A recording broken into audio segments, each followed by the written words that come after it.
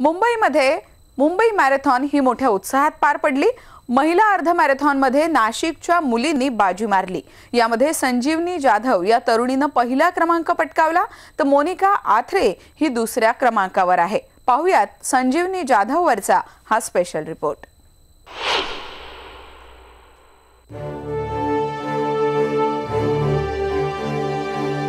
संजीवनी बाबूराव जाधव मुंबई मॅरेथॉनमध्ये पदार्पणातच बाजी मारून पुन्हा सर्वांचं लक्ष वेधलंय ते संजीवनीनं. नाशिकमधील चांदवड तालुक्यातील वडाळी भोई हे संजीवनीचं गाव. याच गावात बारा जुलै एकोणीसशे शहाण्णव रोजी संजीवनीचा जन्म झाला. संजीवनीनं लहानपणापासूनच मर्दानी खेळात चुणूक दाखवायला सुरुवात केली. मुलींनी कोणते खेळ खेळावे हे भारतीय समाजमनावर ठासून भरलंय. परंतु तिने त्याला छेद दिला. खूप छान होता अनुभव. पॅरेंट लोकांचा फार छान प्रतिसाद होता. जागोजागी पाणी पण ठेवलेलं फ्रुट्स पण ठेवलेले. तर खूप छान वाटतं. क्लायमेट पण खूप छान होतं. रस्ता रस्ता पण फार छान होता.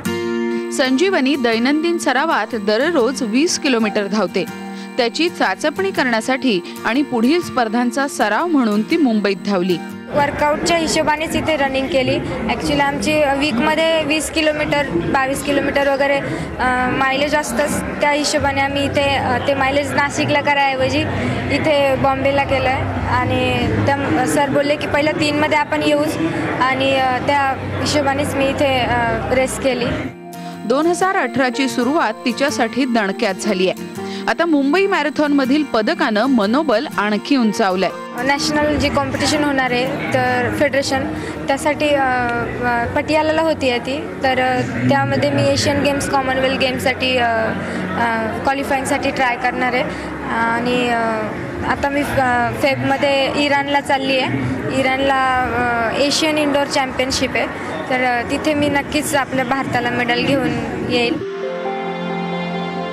आंतरराष्ट्रीय धावपटू म्हणून नावारूपाला यायचं हा निश्चय संजीवनीनं सार्थ करून दाखवला.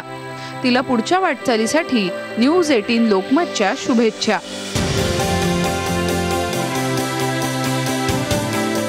रोहिणी गोसावीसह नेहा आणि प्रणाली तळवणेकर न्यूज एटीन लोकमत मुंबई.